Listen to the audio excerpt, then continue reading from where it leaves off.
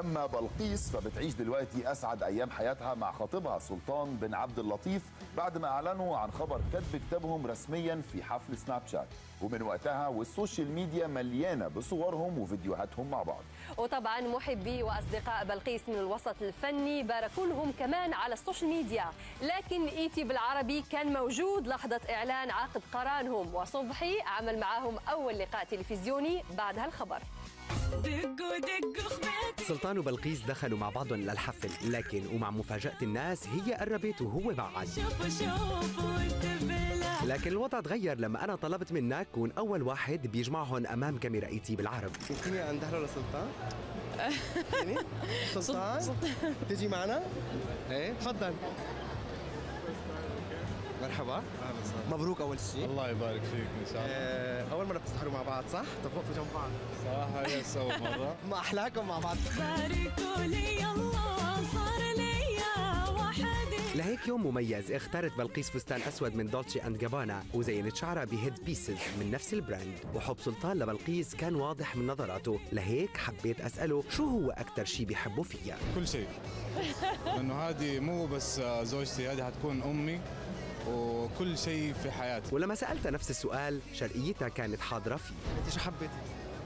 يجنن الرجال.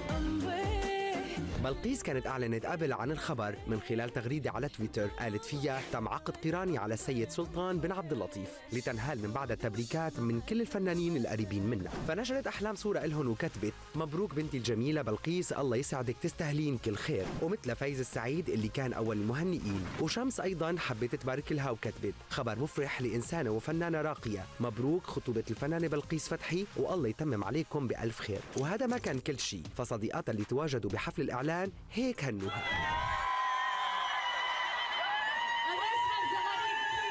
وبعد هالخبر سلطان وبلقيس لفتوا انتباه الجميع وكل الكاميرات توجهت إلى طاولتهم. وبما أنه هذا أول ظهور علني إلهم مع بعض وقدام كل المعجبين كان شيء طبيعي نشوف شوية غيرة بعيون سلطان. مجنون احب غيرك أنا مش فيني صايبني عم حبيب وبما أنه تواجدنا بحفل سناب شات فكشفوا لي عن سر ما حدا بيعرفه. أكيد. آه، بتحب سنابات ولا أموت كل شيء في بلقيس أموت فيه.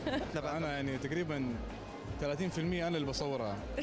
بالسنابات صح صح. سناباتي سلطان يصورها. وبعد ما تأقلمت بلقيس على وجود الكاميرات بينهم هيك كانت ردة فعلها بس صور سلطان السناب. سلطان هلو بلقيس مبروك. وبلقيس عندها طلب من إيتي بالعربي لما يكونوا معها يوم عرسها والفستان من فوق لتحت لو سمحت.